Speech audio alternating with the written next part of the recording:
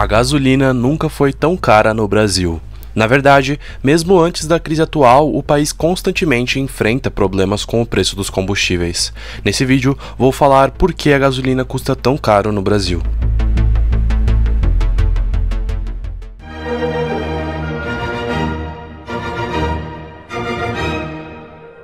Opa, e eu sou o Loconte e esse é conhecimento expandido. Nunca foi tão caro encher o tanque. O preço médio do litro da gasolina comum no Brasil chegou a R$ 7,00 impostos no Acre, Rio de Janeiro e Rio Grande do Sul, ampliando ainda mais a inflação e sendo fortemente sentido no bolso do consumidor.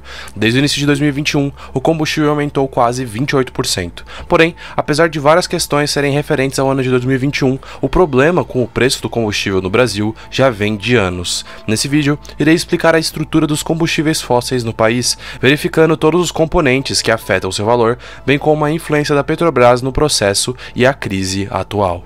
Eu gostaria de pedir, por favor, caso você goste do conteúdo de geopolítica, história e economia, para deixar um like e se inscrever no canal, pois isso ajuda demais. Também tenho um novo sistema de membros agora, caso alguém queira ajudar financeiramente o desenvolvimento do canal.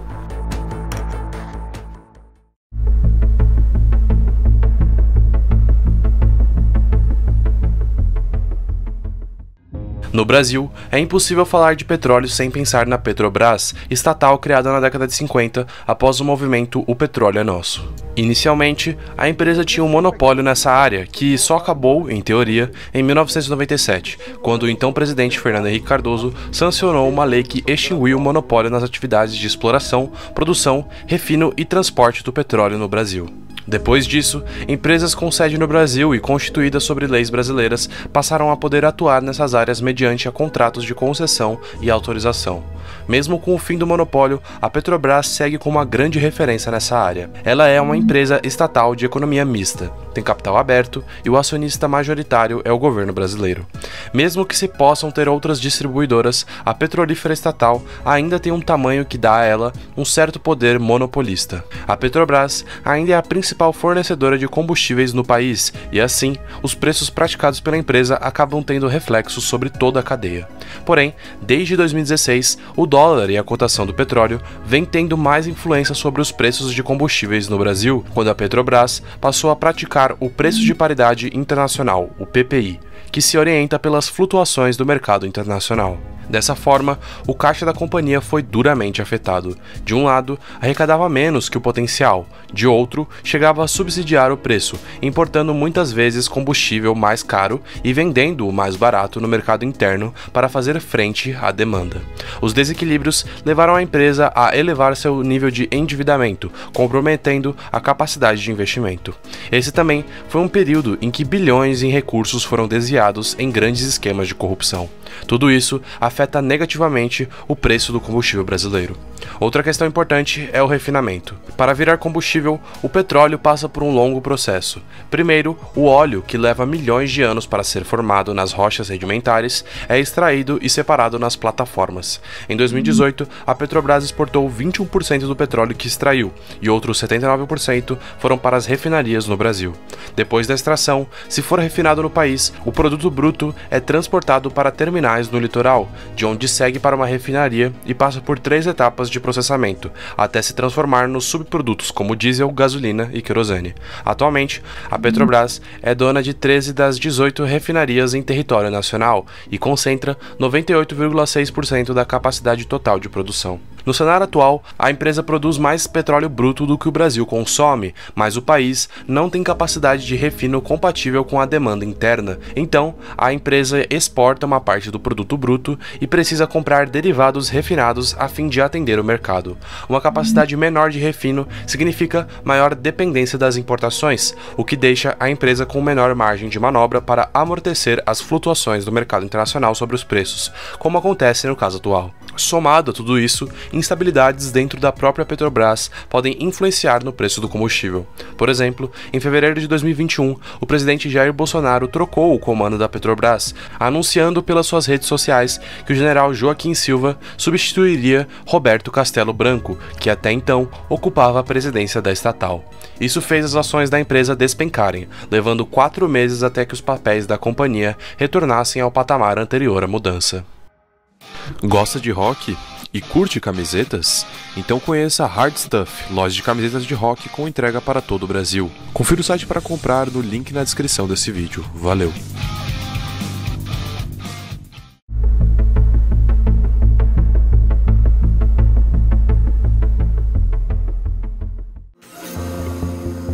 Valor da gasolina nos postos de combustível é composto da seguinte forma: preço do produtor da gasolina, com 35,6%, que basicamente é a Petrobras, Preço do etanol anidro, com 14,8%.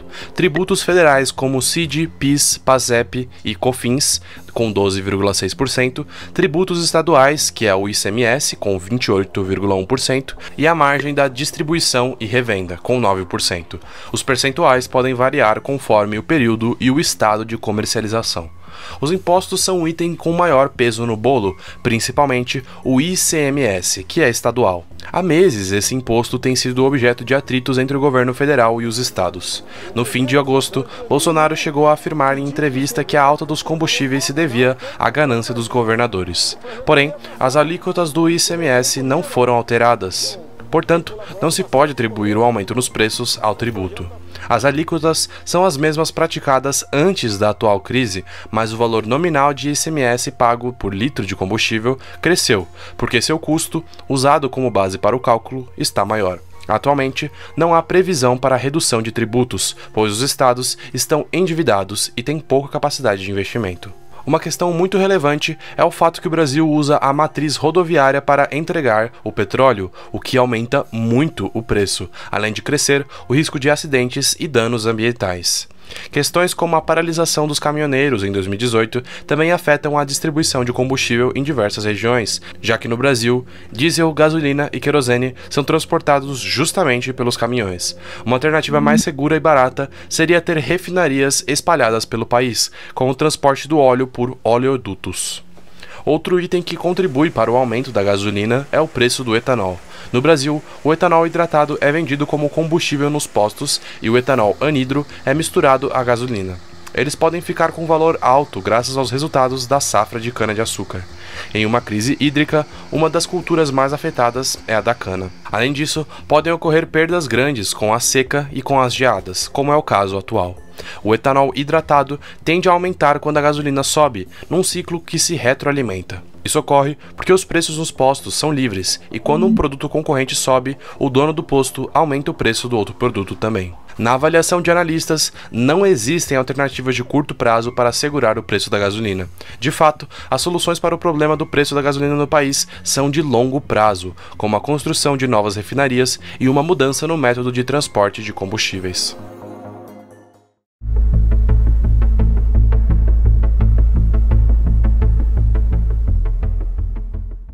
Um dos principais motivos do preço alto dos combustíveis nos dias atuais é a cotação do petróleo no mercado internacional. O barril do tipo Brent, usado pela Petrobras para o cálculo do preço, aumentou 40% desde o início de 2021, pressionando os preços dos combustíveis fósseis em geral. A valorização do barril de petróleo tem um duplo efeito para países como o Brasil, que passam por uma profunda desvalorização cambial. O preço sobe não apenas porque a commodity em si custa mais, mas porque o dólar também está mais caro. Isso ocorre pois a Petrobras calcula o preço com base na cotação do petróleo e na taxa de câmbio, pois a commodity é cotada em dólar. Dessa forma, a estatal brasileira aumentou o preço do combustível nove vezes somente em 2021. Uma série de fatores explica por que a moeda americana tem se mantido em patamar elevado, acima de R$ reais. A desvalorização do real ocorre por motivos externos e internos. Alguns externos são a expectativa de aumento de juros nos Estados Unidos e de retirada do programa de estímulos monetários. Já os internos, a imagem negativa que o Brasil passa para o mundo inteiro. Essa imagem é composta pelo compromisso do governo com a responsabilidade fiscal e a instabilidade política, bem como a visão anti-ciência por parte do governo e presidente Bolsonaro. Além disso, também existe o fator da política ambiental, com aumento das queimadas, em um momento em que o mundo está cada vez mais sensível a essas questões. Tudo isso acaba afetando a decisão dos investidores internacionais de apostar no Brasil. Mesmo com tudo isso, o coronavírus também teve um papel determinante no preço da gasolina. Depois de uma forte queda no início da pandemia da Covid-19, a cotação do petróleo voltou a subir conforme as atividades econômicas foram sendo retomadas. Mas, se o consumo de combustível cresceu, a produção mundial não avançou no mesmo ritmo. A produção mundial de combustíveis estava em 92,3 milhões de barris por dia no segundo trimestre de 2020, enquanto a demanda era de 84,8 milhões de barris. No mesmo período de 2021, a procura aumentou para 96,7 milhões de barris diários, mas a produção ficou em 94,9 milhões de barris. Assim como a gasolina, o preço médio do gás de botijão aumentou em 21,5%. Em estados como Mato Grosso e Pará, esse produto chega a 130 reais. O gás e a gasolina são itens que têm participação importante no IPCA, o um indicador oficial da inflação no Brasil. Inclusive, o canal tem um vídeo explicando o que é a inflação. Ou seja, além de doer no bolso na hora de abastecer o carro ou de cozinhar, os aumentos dos preços dos combustíveis se refletem diretamente na inflação. Isso porque, além do impacto direto, há também efeitos indiretos. Assim como a gasolina e o etanol, o preço médio do diesel também está em alta e a maior parte dos transportes de carga e coletivos no país depende deste combustível. Assim, ele força para cima o custo das mercadorias e da mobilidade. Os biocombustíveis que entram na composição da gasolina e do diesel também experimentam forte alta, contribuindo para pressionar o preço final dos combustíveis. O salto é consequência direta dos efeitos climáticos adversos que têm se abatido sobre o país. A falta de chuvas e as geadas reduziram a produção das lavouras de cana-de-açúcar, sua matéria-prima. A crise hídrica ainda afeta os reservatórios das usinas hidrelétricas, que, por consequência, causam o expressivo aumento das contas de luz. Graças à escassez de chuvas, reservatórios em níveis baixos e a maior demanda por energia, em razão da reativação da economia, pesquisas apontam que o Brasil enfrenta a pior estiagem estiagem dos últimos 91 anos. Bom pessoal, o vídeo foi esse. Qualquer dúvida ou crítica é só deixar nos comentários. Lembrando que a sua opinião é muito importante, assim tentarei responder o mais rápido possível. Se tiverem gostado do conteúdo, por favor deixe o like e se inscreva no canal. Mas é isso, valeu!